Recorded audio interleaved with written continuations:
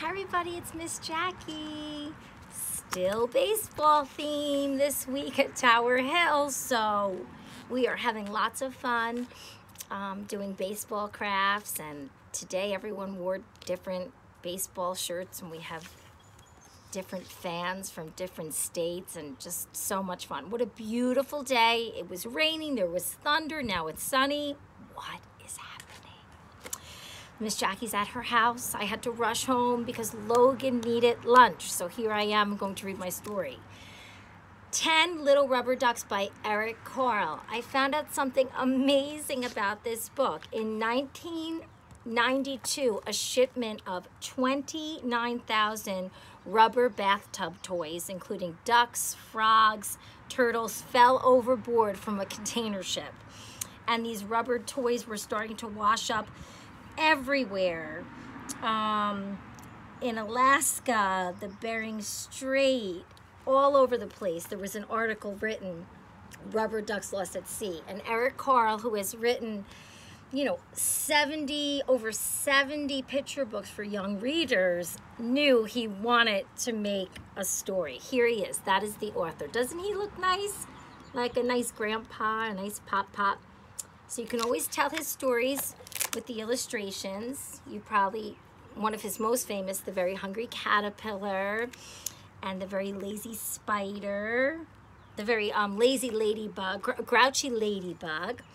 And there's a museum in Massachusetts, the Eric Carle Museum of Picture Book Art. I would love to go there. So a lot of very funny things. He also in 2003 won the Laura Ingalls Wilder Award because of all of his amazing books. So that's my little spiel on Eric Carle. There are so many wonderful Eric Carle books and um, definitely check it out. The museum in Massachusetts, I would love to go there.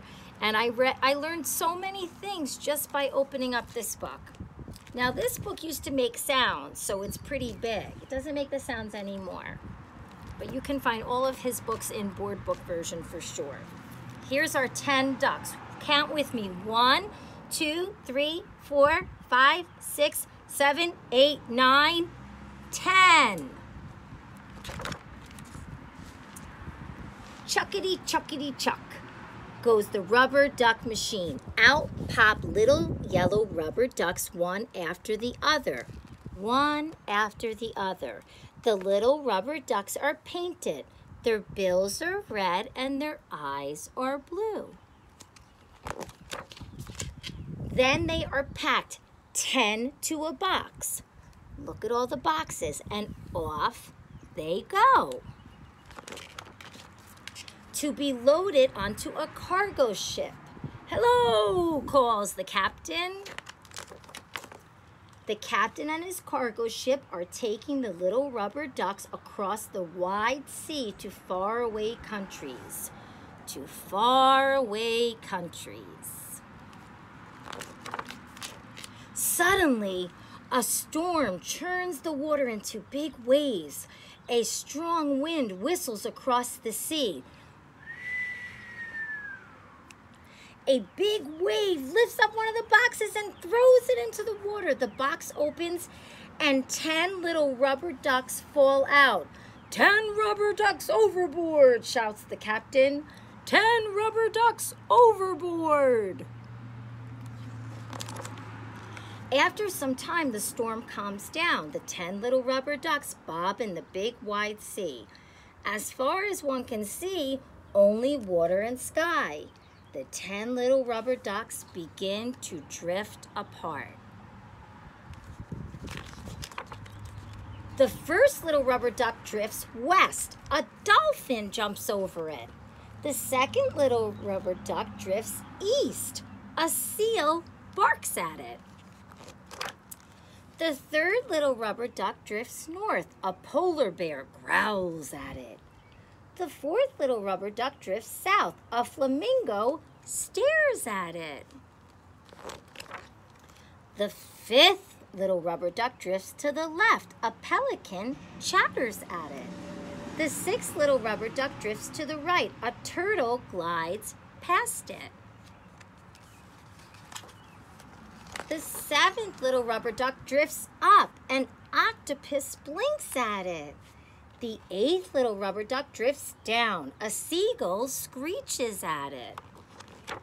The ninth little rubber duck drifts this way. A whale sings to it. The tenth little rubber duck drifts that way, bobbing and floating on the big wide sea. The sun is setting, it is getting dark. As far as one can see, only water and sky.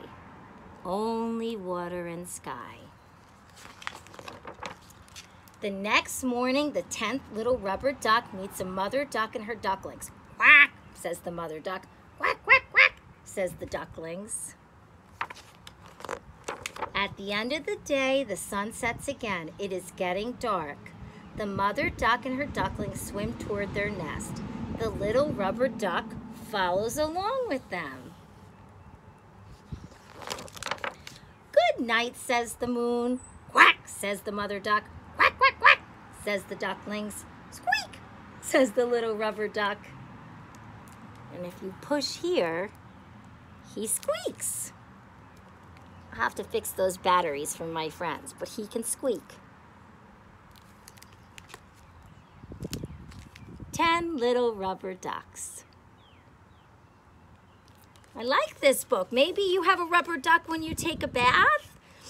Um, I always see little rubber ducks at Duck Donuts, which is in Middletown. They sell little rubber ducks there, and I also see little rubber ducks at the party store and sometimes at the dollar store. And what I love about this book and Eric Carle are his very whimsical and beautiful illustrations. And if you look, maybe you notice that some of the animals looked very similar to animals from Brown Bear, Brown Bear, and Polar Bear, Polar Bear. And if we want to get all fancy, we would start calling that now a text-to-life connection. So if your child is reading a book and the character's eating ice cream and they say, I got ice cream with daddy. Those are really important because they're connecting real life experiences to experiences um, in the book. And that is something that is really um, quite popular now, making these book to life, text to life connections.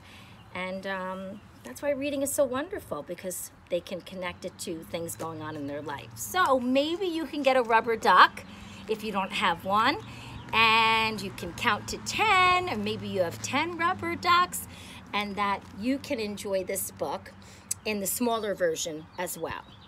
Okay, this one is the big one that squeaks. I hope you like the story and I hope you don't mind Miss Jackie talking so much, but I love this author, so I like to share what I've learned. I hope you have a great day and I'll see you tomorrow. Tomorrow is Thursday. Bye everybody.